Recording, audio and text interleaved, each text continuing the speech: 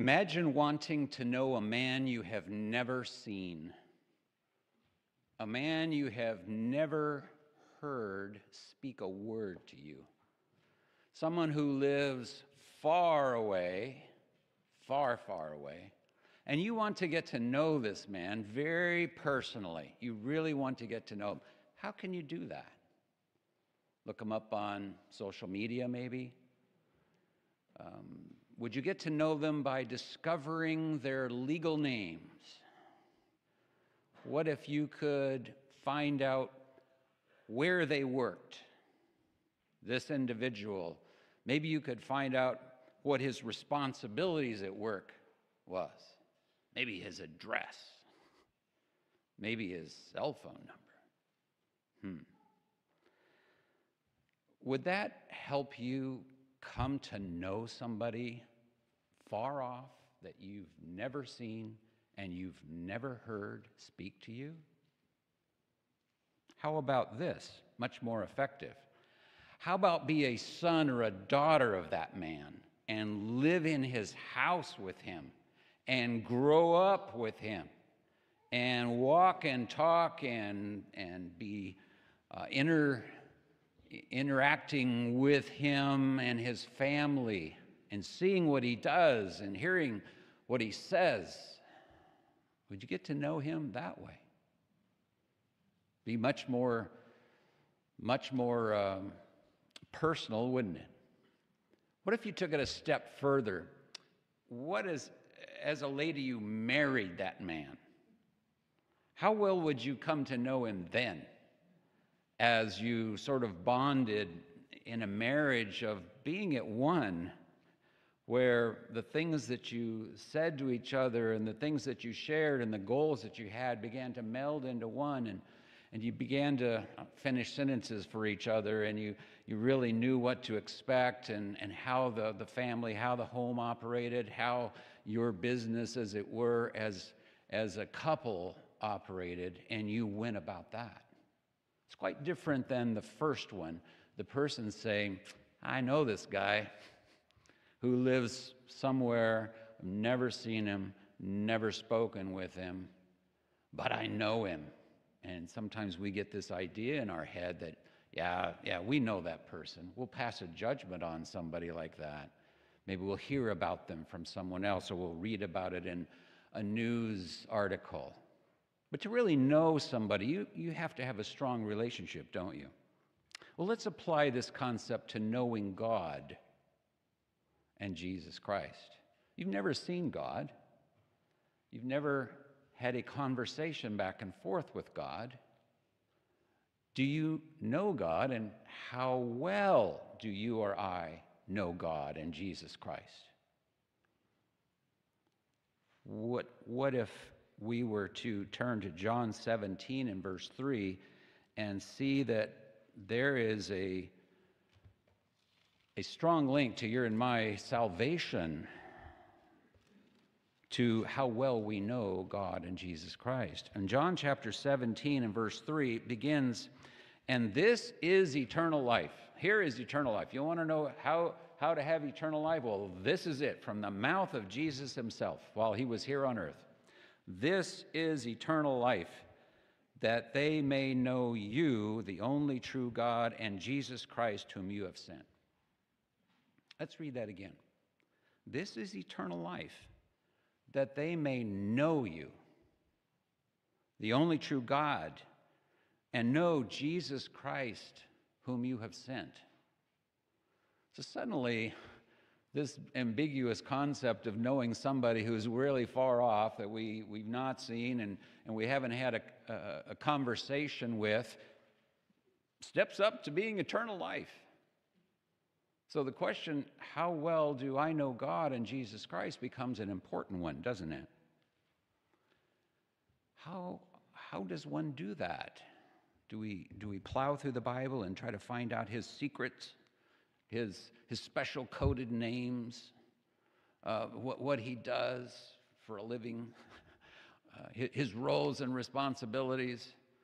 Um, all the Hebrew and Greek things associated with him, would, would that help us come to know an individual as a bride would who lives with him, talks with him, thinks with him, plans with him, executes plans, and, and assists him? Or is the other just kind of a trivial pursuit of how much information and facts can a person pile up about somebody? Kind of an encyclopedia, um, you know, or a Wikipedia uh, statistical analysis of somebody. Let's examine how to know God and our husband, Jesus Christ. And as we do this, we'll, we'll find that developing a family relationship with them, with the Father, and with our husband, Jesus Christ, is key to knowing the Father and Jesus Christ. The title of the sermon today is Know the Father and Jesus Christ. We can see by the scripture we've read, it's pretty important. You could put an, you could put an exclamation point after that title Know God the Father and Jesus Christ! Exclamation point. High priority, important stuff. Now, I don't know about you, but I've thought about this in my own personal life for a long time. And in some ways, I kind of think it's unfair that we don't get some special discussion, you know, personal interaction, walking down the road. Oh, hi, Jesus, you know, let's walk and talk. hi, God the Father. You know, th- there's some big things coming in. It would really help if you just sort of popped out here and, you know, we, we just had this face to face. Then we could really get to know each other. But that's not the way the new covenant is set up. It's a new covenant based on faith. It's a new covenant based on us being able to know God and know Jesus Christ from the heart, not just from the intellect of having a conversation or seeing them. They want us to see and hear them in a spiritual way, from the heart, in a way that interacts with them in a relationship that doesn't need a visual interaction or an audi- audible interaction. So, how well do you know God and Jesus Christ? I ask myself. You can ask yourself the same question. Maybe a better question is Would you like to know them better? That's a good question. Would you like to know God the Father and Jesus Christ better? How can we do that? So I'm going to break this message into two parts. The first part, we'll go through both today. The first part is how to know God the Father and Jesus Christ. We need to know how you do that. So it's, it's very clear. So we're going to look at some scriptures as to how we know this. And it's been the same from the beginning. We'll go back to Deuteronomy chapter 7 and verse 9.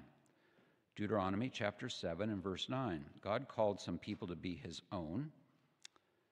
And here's what he said to them Deuteronomy chapter 7 and verse 9. Therefore, know the Lord your God. That's what this, this phrase is. Know the Lord your God. He is God, the faithful God who keeps covenant and mercy for a thousand generations, notice, with those who love him and keep his commandments. So we begin to see here how you, you know God. We're to, to know the Lord, the, the supreme authority, our God, and he keeps a covenant with those who love him and keep his commandments. That's how we start loving God and keeping his commandments and having a covenant with him. When you think of knowing somebody, you might just happen to know their name or whatever. That's not knowing them. Sometimes we'll come into a group of people and we'll say, Oh, I know him and her. And what are we saying? If we really know somebody, we know them by who they are, not just their name or their face or what they do. We know them by who and what they are, their character, their, their, their mindset.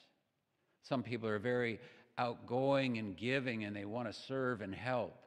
Other people do that in, in various ways. They might bring food or make food.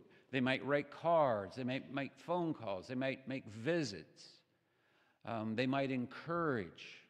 Other people might be a little shy, but they may do things in different ways, have different gifts. But we, we begin to know them by what they do and who they are, how they think, their mindset, the deeds begins to expose who they are.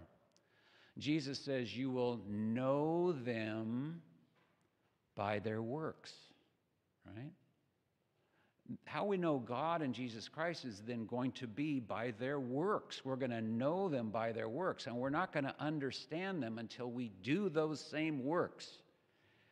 Then we can begin to understand. You know, take for instance an individual who shows up with food. I know some people, it seems like whenever they show up, they come with an ice chest and it's full of food. And it's really nice. They open up and have some food.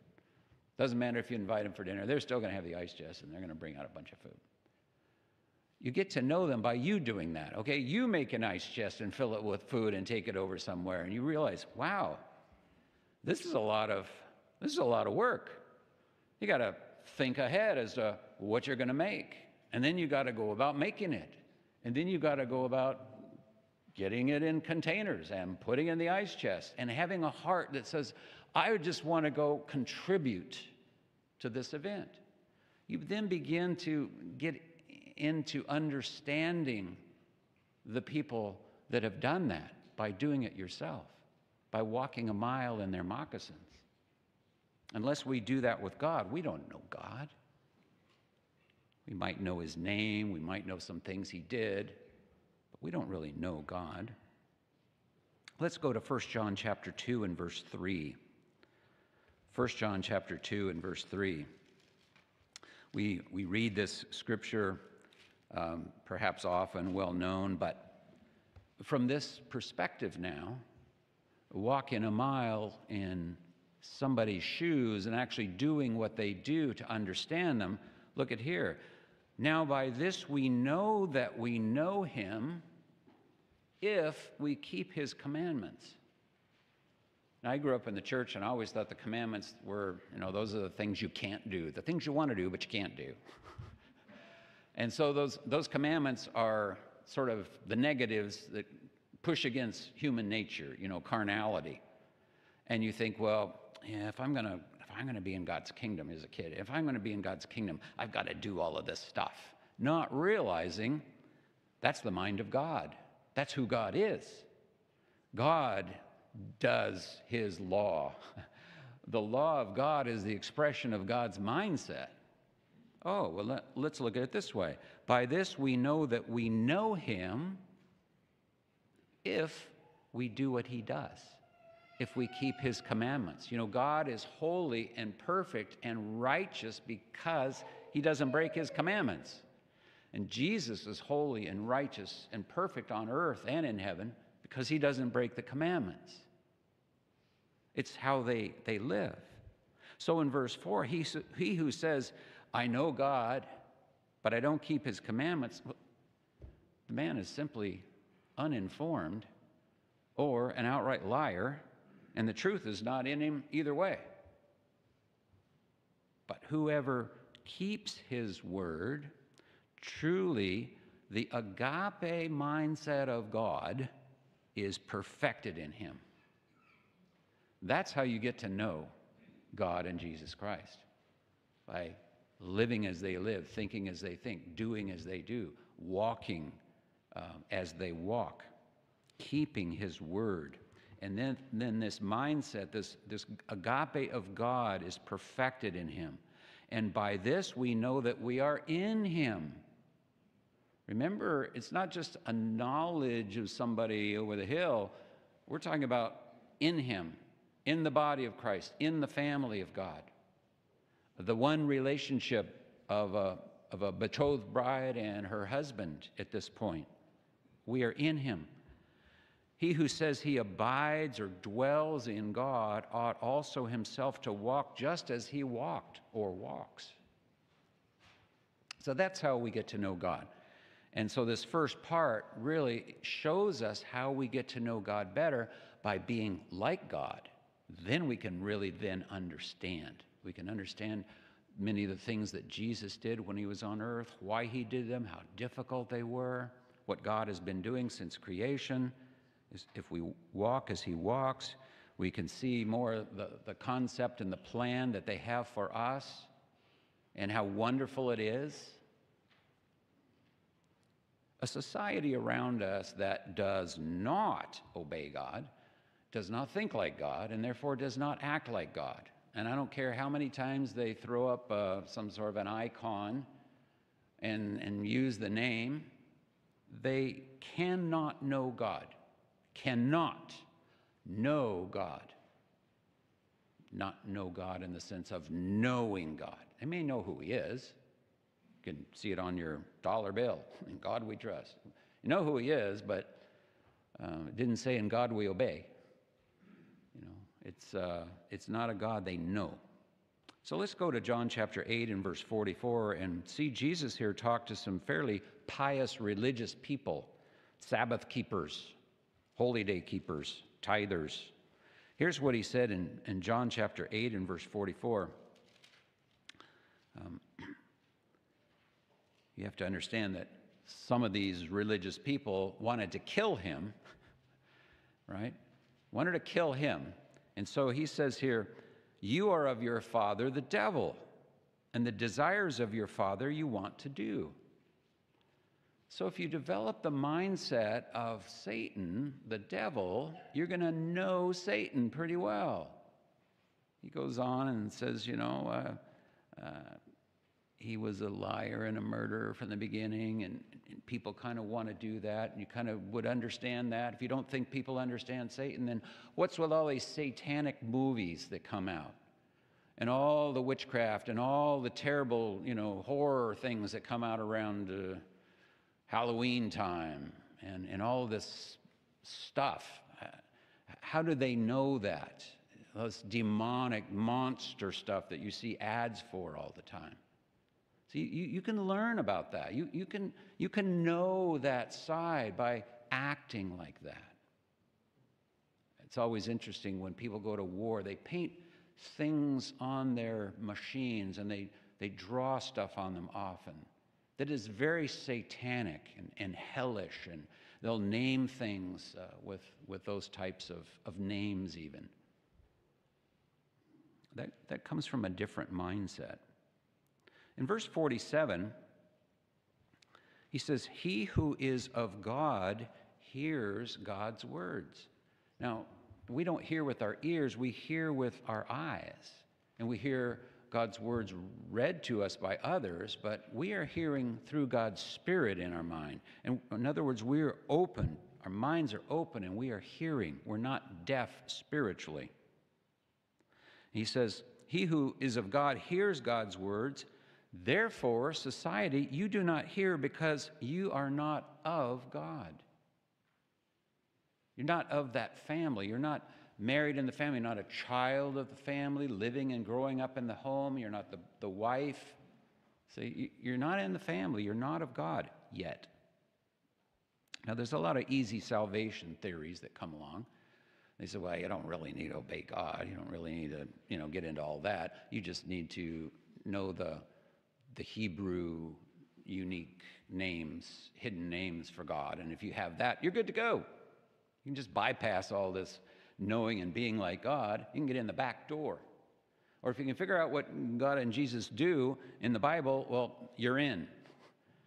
Uh, or, you know, there's other things. If you understand a certain prophecy and you can figure out what's going to come, and nobody else gets this but me, or some holy day that you keep that's just a little different than everybody else, then I'm in. You know, Jesus said, Not everyone who says to me, Lord, Lord, will enter the kingdom of heaven, but he who does the will of my Father in heaven. He says, In that day I will declare them, Depart from me. I never knew you. I never knew you. See, we're talking about knowing God. Well, there's a reverse to this. God does not know those who don't think like him, who aren't in the family, who somehow get into the wedding supper without the garment on. He said, Depart from me, you who work iniquity or lawlessness. Break, break my law. You're, you're not part of the family.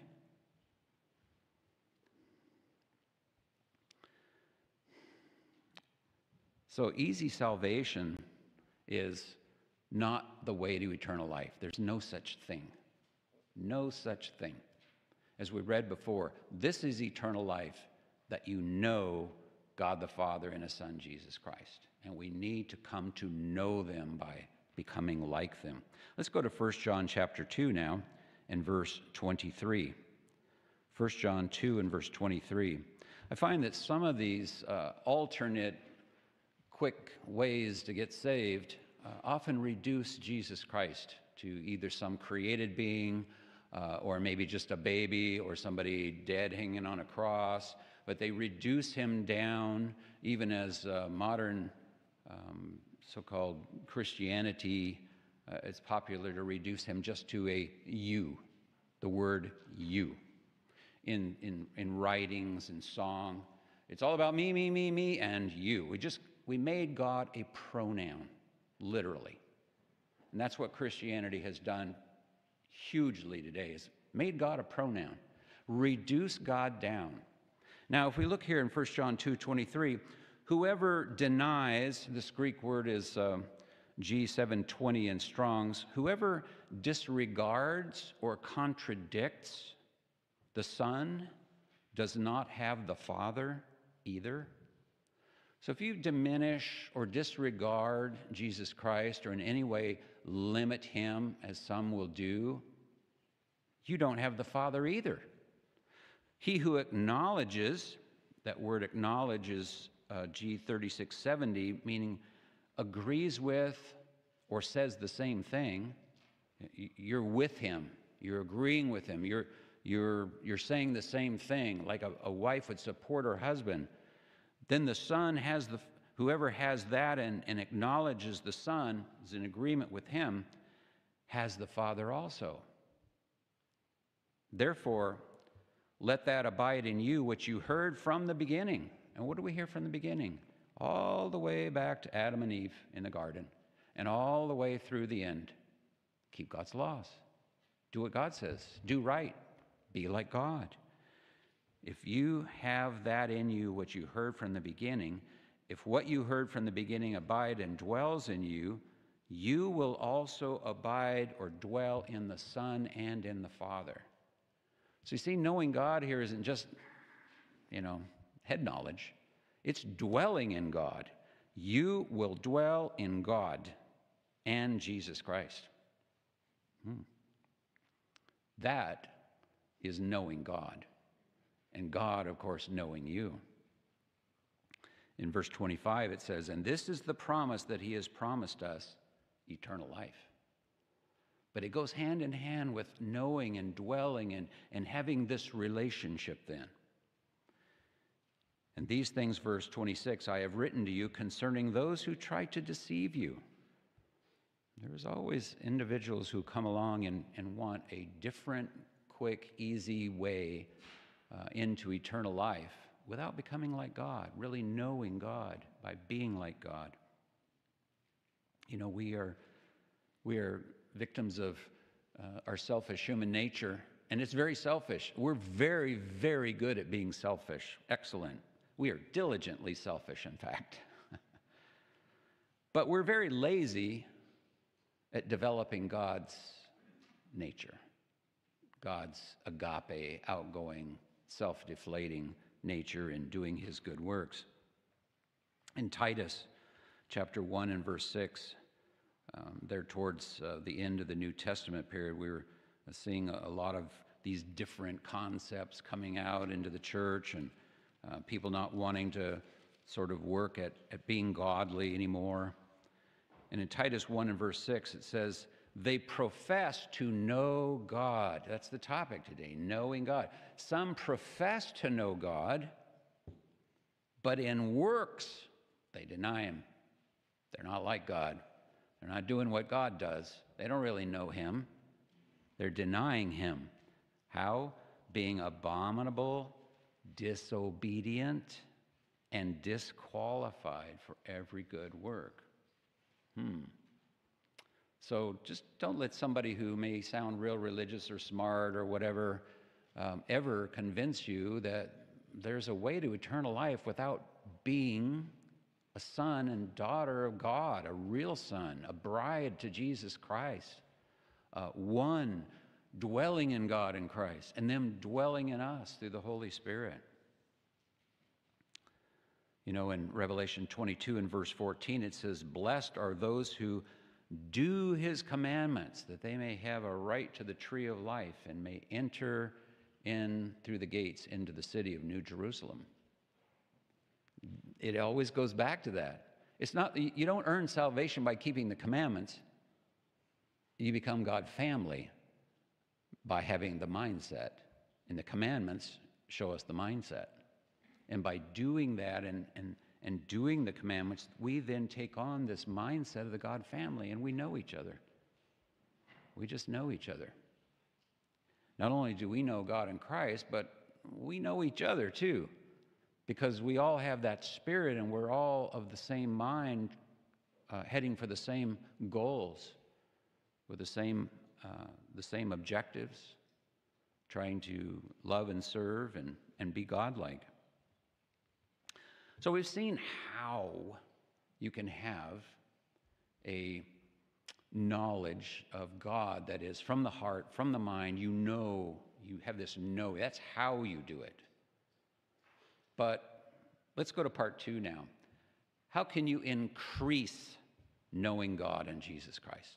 How can we know them better and continue to grow in that? You know, we're going to find that the Bible talks about growing in the knowledge of God and Christ. Just not the technical knowledge, but knowing them. You know, God and Jesus Christ and the children are family, and they know each other, and they are known by each other, but they know each other. If we go to uh, John chapter 17 and verse 21, Jesus here, before he was crucified, is pouring his heart out to the Father, and here's why he came. Here's why he, he's going through all that he's going through verse 21 of John 17, that they all may be one. That's, what he, that's, that's why he did what he did. That's why he created the world and the heavens, um, the Father directing him to do that, that they, they all may be one. As you, Father, are in me and I in you. Notice the Father's in him, he's in the Father, that they also may be one in us the way we become one with them is, is step one, or part one, is to be like them, do like them, think like them.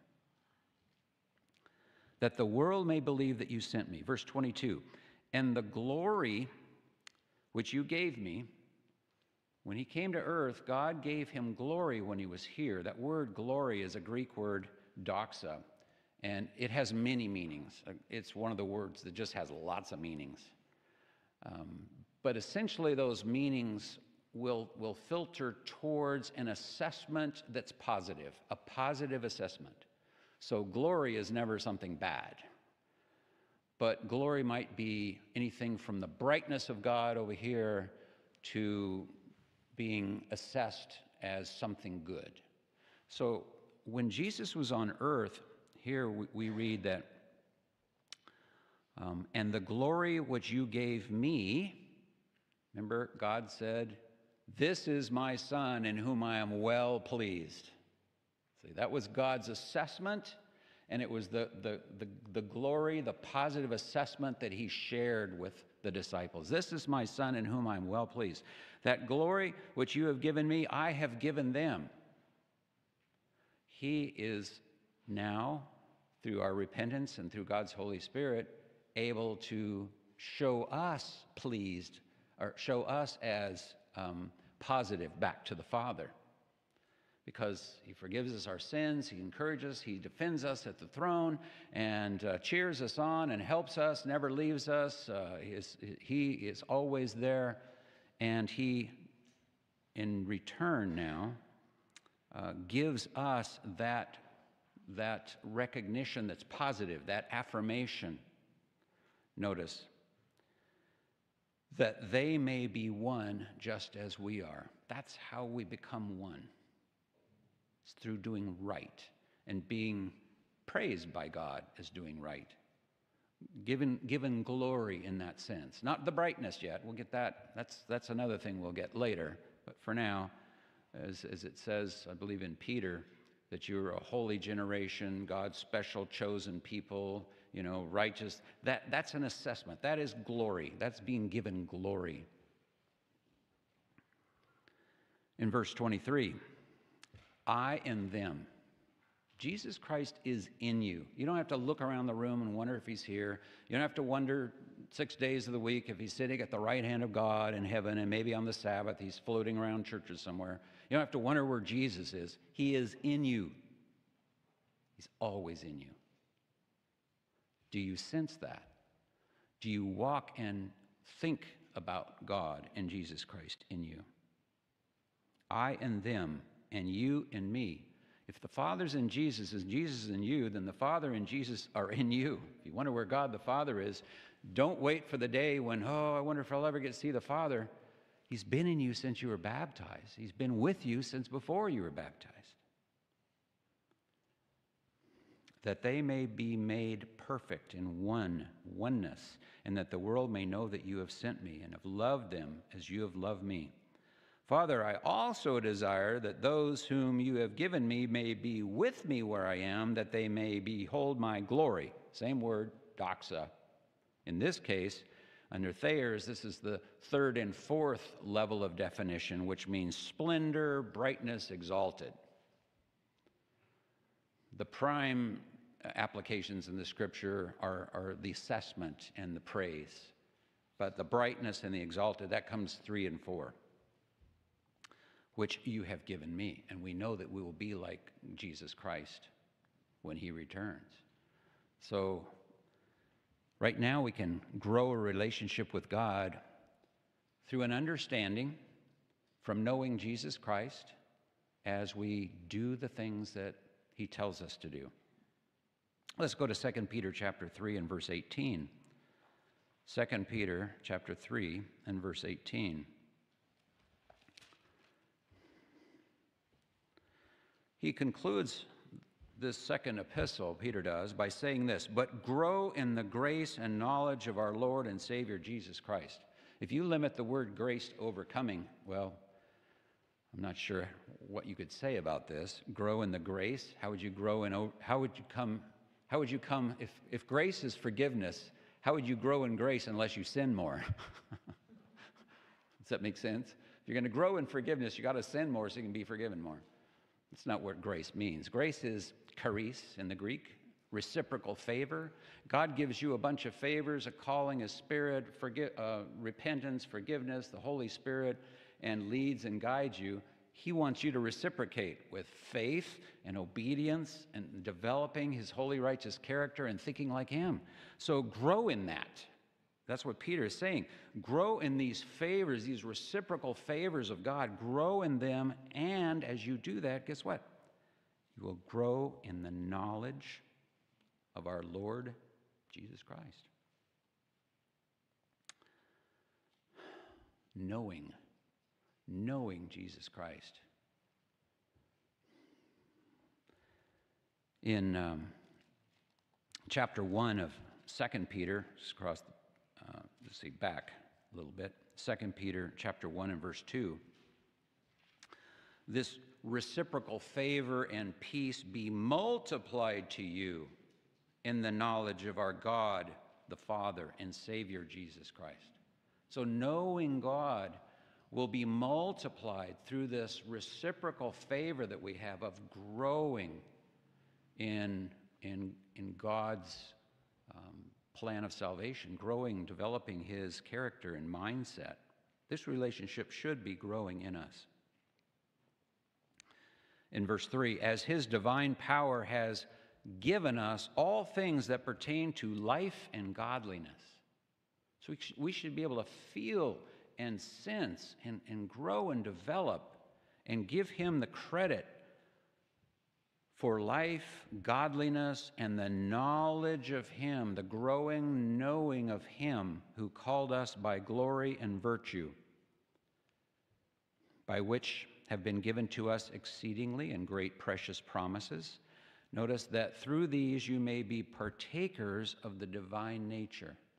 That's how we know God. Partaking of His nature, His divine nature, His agape mindset. So, in verse 5, then, how do we grow this? Well, he gives us the formula. For this very reason, giving all diligence, add. And just stay where we are, add to your faith virtue. Be virtuous. And to virtue, knowledge. And to knowledge, self control. To self control, continuing in it, persevering in it and to per- perseverance, godliness. You see how we're now involved in the family of God and we're, we're pushing on into that mindset and we've reached godliness. Wow, we're beginning to know God. But keep going. Verse 7 to godliness, brotherly kindness, and to brotherly kindness, agape. Wow.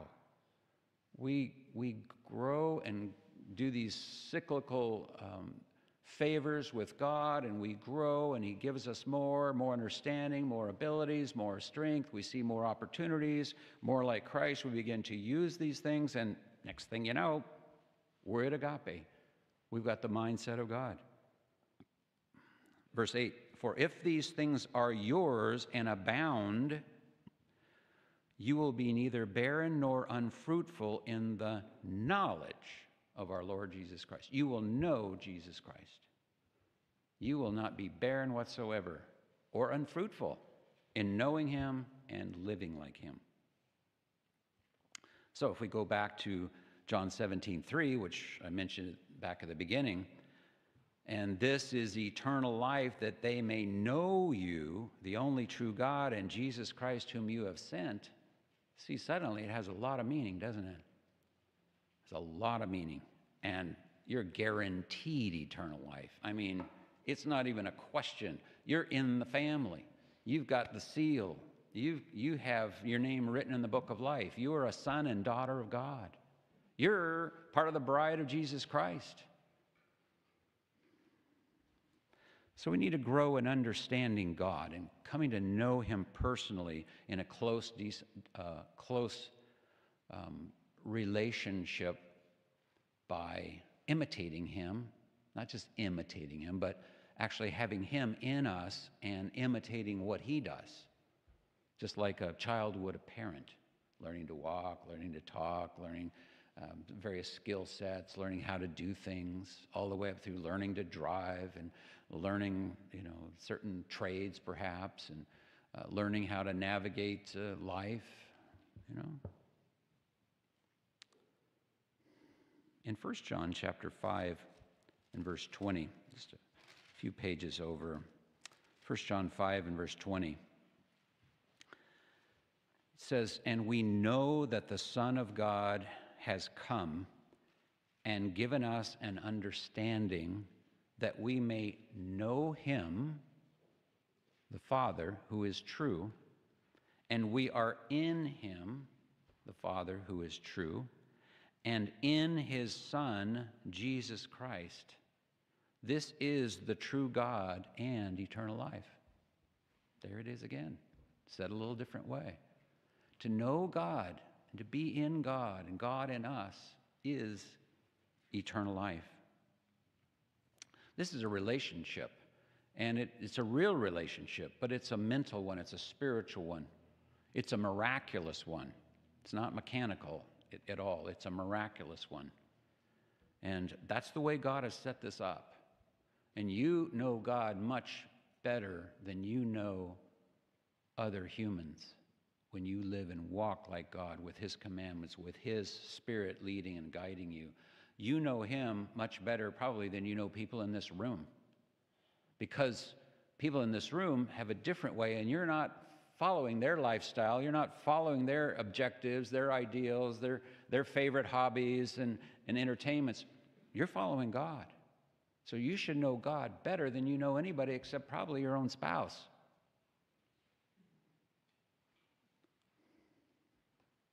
It says here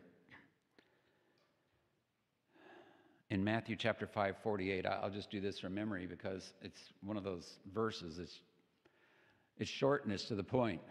Jesus said, Be you therefore perfect like your Father in heaven is perfect. If you just shorten that down, be you like your Father in heaven is, and you'll know him. You know, that's what he's saying. Be like your Father. Be a child, grow up like dad. Jump in his lap and say, Abba, Father, come right into the throne room. Be like your dad in heaven, not a physical human. None of us are perfect. There's some real bad examples. There's some good ones as well, and we're thankful for those. But be like your Father in heaven. He, Be like him. Then you'll know him. He'll, he'll know you. And that's a great relationship.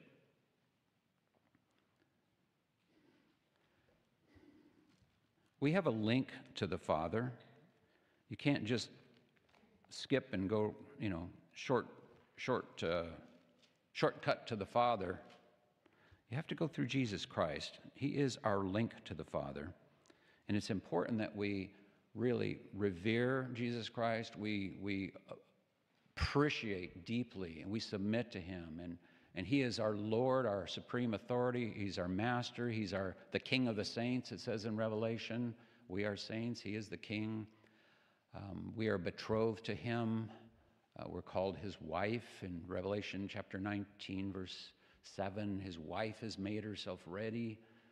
Um, so that's a real, real important relationship that we have. And it says in John chapter 14 and verse 6, Jesus said, I am the way, I am the truth, and I am the life, and no one comes to the Father except through me. Except through me. But then he goes on in verse 7 If you had known me, you would have known my Father also. So by imitating Jesus Christ and doing what he says, we come to know God the Father, who, who is always, as far as I know, been in the third heaven on the throne uh, whenever I see him mentioned in Scripture. We come to know him by knowing Jesus Christ through Scripture, what he did, but living in us, the Spirit, through the creation. We know a lot about God the Father.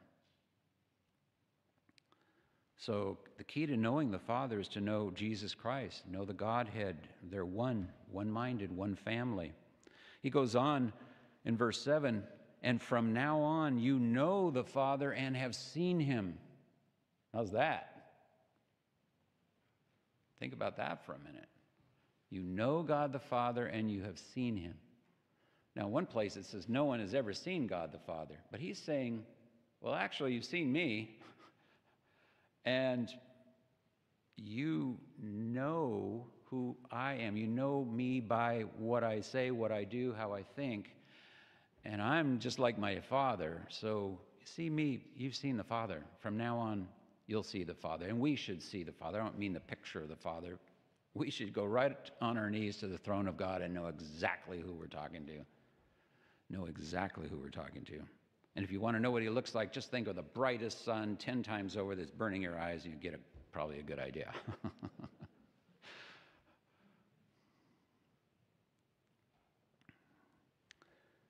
Knowing God also provides us with his understanding. You know, David in, in Psalm 19, we, in fact, we sang one of the Psalms, it's our last hymn this morning of the three set. Um, but, oh, how love I your law and that's repeated throughout Psalm 119. His laws, his statutes, his precepts, his judgments. And David then has a good understanding because he keeps God's law, his statutes, his precepts. And that longest chapter in the Bible just repeats that over and over and over. So, if we if we look here um, in, let's see here, 1 Corinthians chapter 1 and verse 18. 1 Corinthians chapter 1 and verse 18. Have to limit how many scriptures we can actually do in one message. He says here, Paul is saying here to the church at Corinth, for the message of the cross. You know what the message of the cross is? The message of the cross, the stake, if you look up the Greek word, it has to do with that word charis again. It's the favors of God. Jesus Christ came and he began to give favors.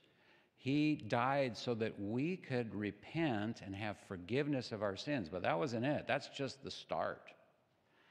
So, the, the message of, of his crucifixion, grace as a reciprocal favor, we might say, or the reciprocal favors that we uh, interact with them doing, it's foolishness to those who are perishing, he says.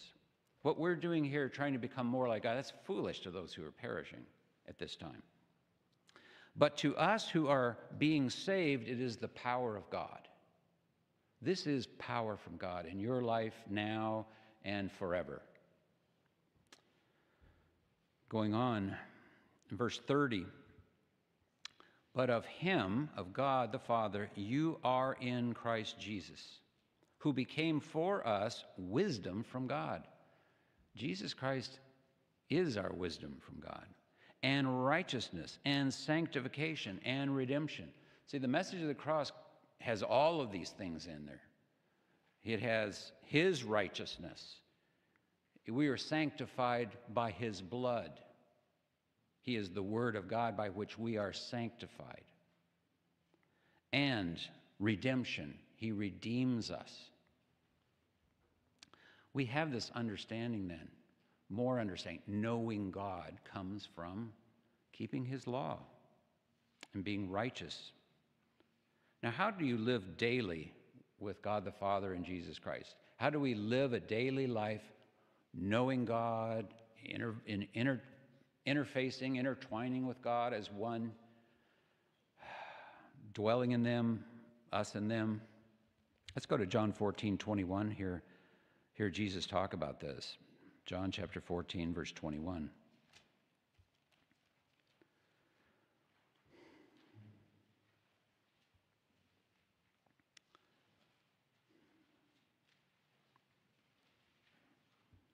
We'll start in verse 20.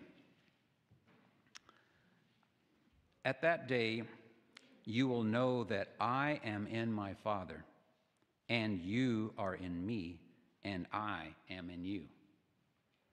He who has my commandments and keeps them. See how this just keeps coming back around? He who does what God does, he who thinks like God thinks, he who does the, the God family um, deeds, acts, mindset. Uh, this is going to be uh, those who keep them. Is he who loves me, and he who loves me will be loved by my Father, and I will love him and manifest. The Greek word there means to disclose. I will disclose myself to him. Doesn't mean he's going to show up, but you'll know. He, he, you're going to be disclosed. I'll disclose myself to him. Verse 23 Jesus answered and said to him, If anyone loves me, he will keep my word. And my Father will love him, and we will come to him and make our home with him. If you want to dwell in that home, the Father has house rules. Okay? We can put this real clear. When you go to the Father's house, the God family house, the house of God, there's house, world, house rules. And that's the way the family thinks, the way the family lives. If you don't want to keep the house rules, you're not going to be in the house. but if you're in the house, the house of God, you're in the body of Christ, you're in the household of God, you're going to be part of the family and you're going to think and act. You're going to know the family inside out. You're going to know God and Jesus Christ. You're going to know all of those who are truly in the family, and you'll be able to test the spirits and know who is and who isn't simply because they don't think the way God thinks. And you'll know false teachers because their fruits will reveal that they're not of God's mindset.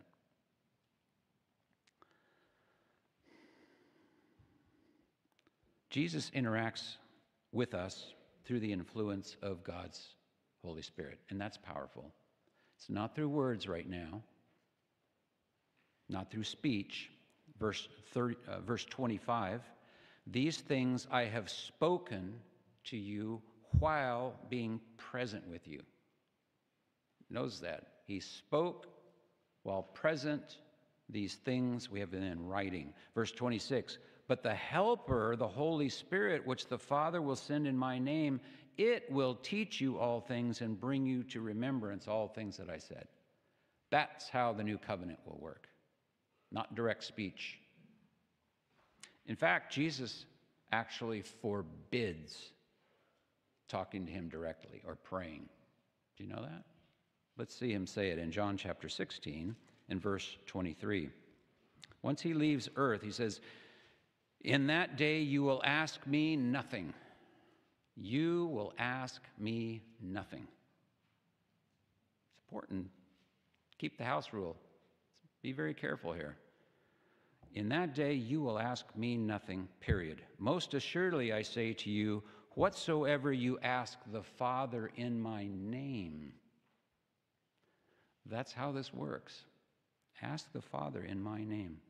Now, everyone in the New Testament followed this rule. You won't find any uh, other examples of this. In uh,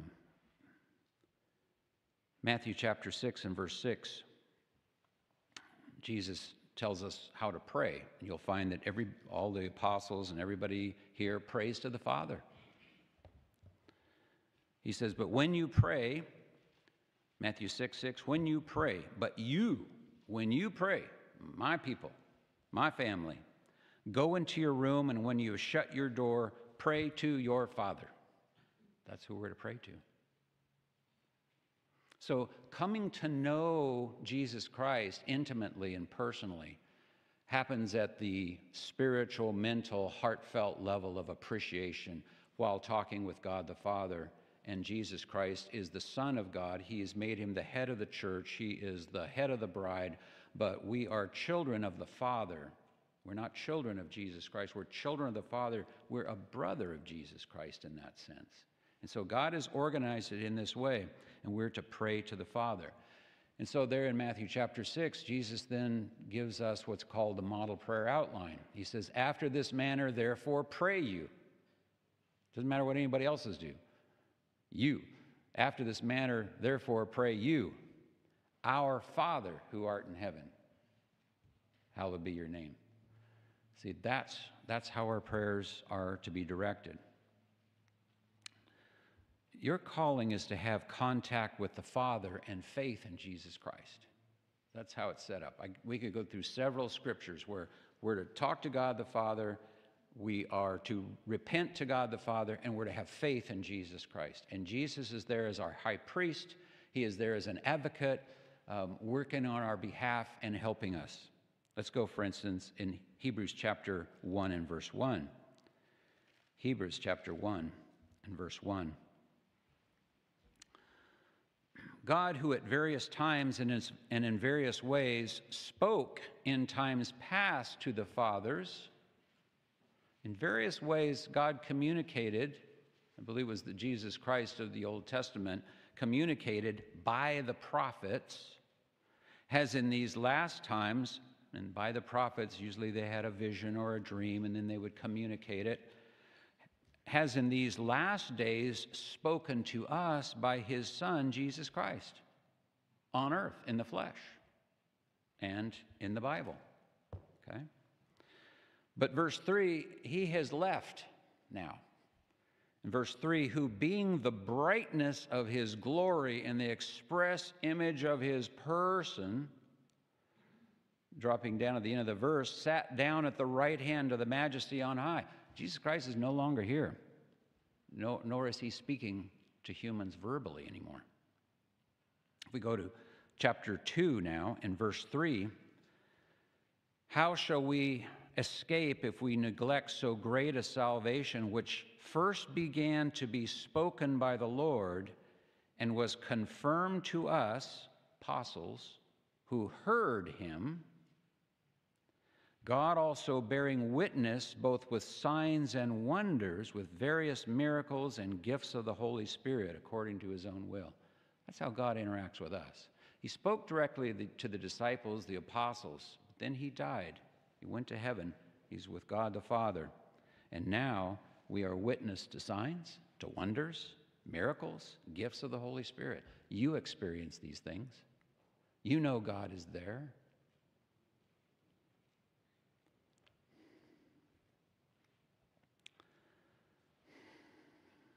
We have faith in an unseen, unheard God and Jesus Christ. And to God, that is treasure. That is great treasure. Jesus said, When the Son of Man comes, will he find faith on the earth? Yes, he will, in those who are in the family. In 1 Peter chapter 1 now, and verse 10, 1 Peter chapter 1 and verse 10, Jesus Christ, whom having not seen, you do not see him. Jesus Christ, whom you having not seen, you love, you agape. See, it's important that we have not seen him and we don't see him.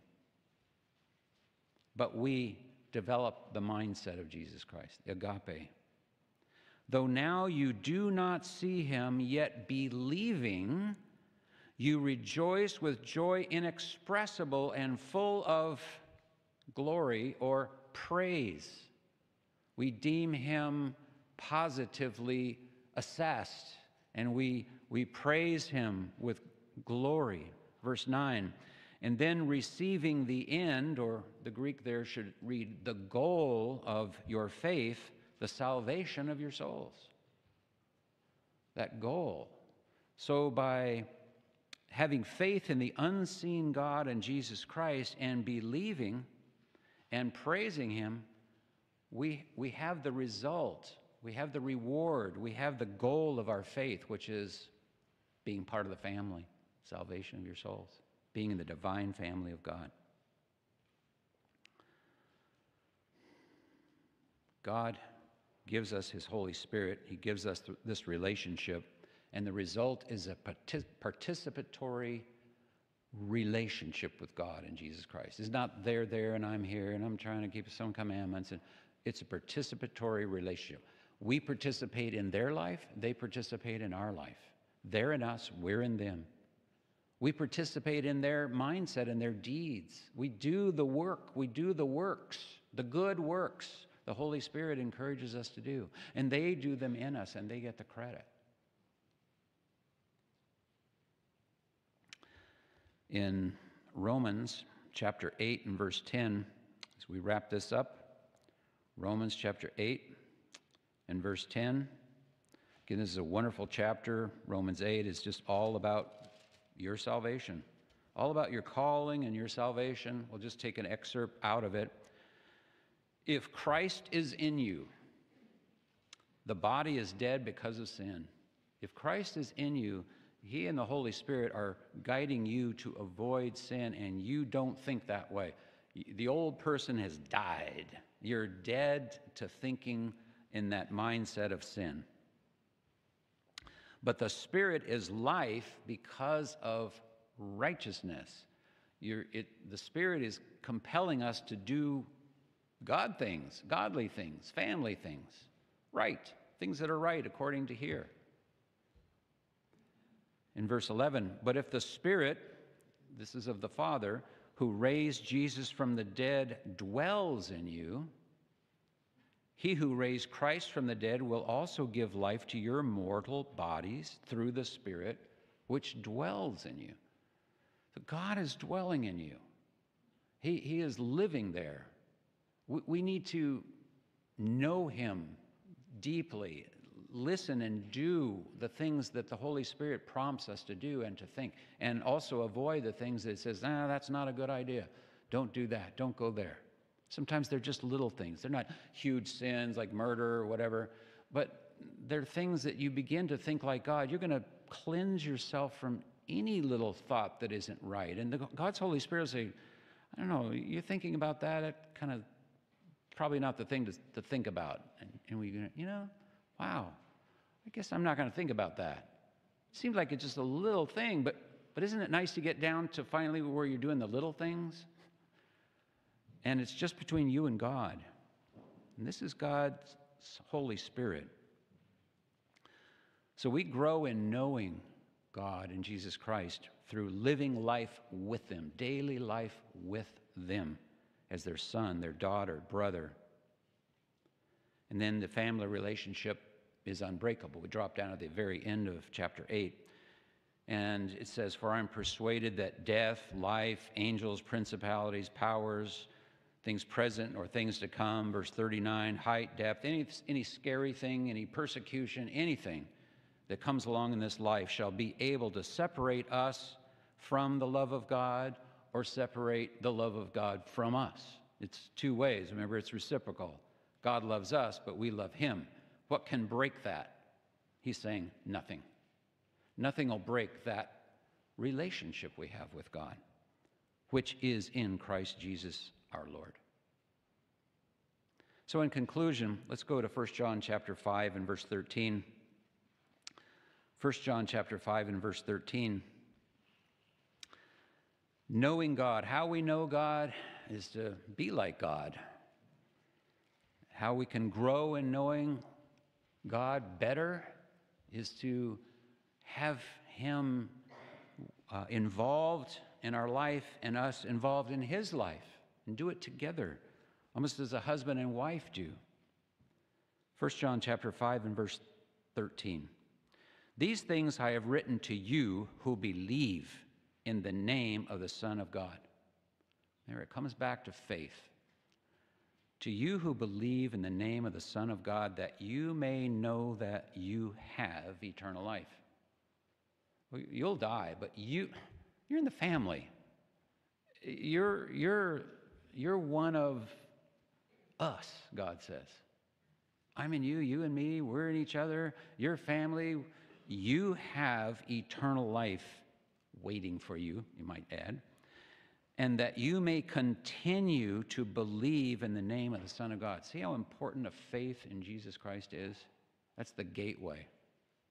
Verse 19 We know that we are of God, and the whole world lies under the sway of the wicked one. Verse 20, and we know that the Son of God has come and has given us an understanding that we may know him, the Father, who is true, and we are in him, the Father, who is true, and in his Son, Jesus Christ. This is the true God and eternal life.